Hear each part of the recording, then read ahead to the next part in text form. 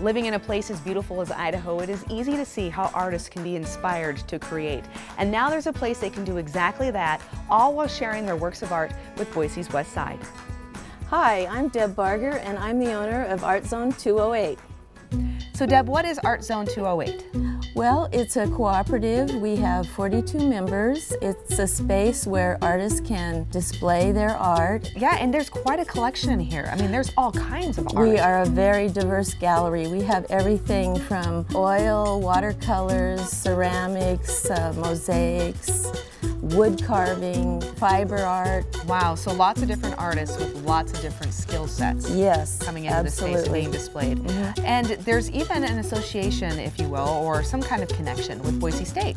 Yes, we have two artists actually.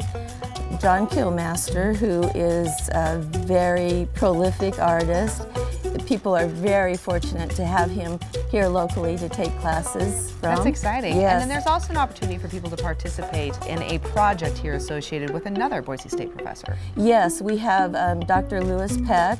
His daughter mm -hmm. is selling his artwork here, and they have just started a legacy project for him so that he will not be forgot. So all right, yeah. so it's to continue his legacy on. Yes, yes, that's exciting. Okay, but there's a chance for viewers to also come and take advantage of other classes as well, right? Absolutely. We have beading classes, we have painting classes, all sorts of classes. I'm noticing a lot of artists are pulling from the beauty of the area, and uh, it's kind of a celebration of home a little bit too, right? Yeah, absolutely. Yes. Yeah. Yes. We welcome people to check out our Facebook pages. That's where we okay.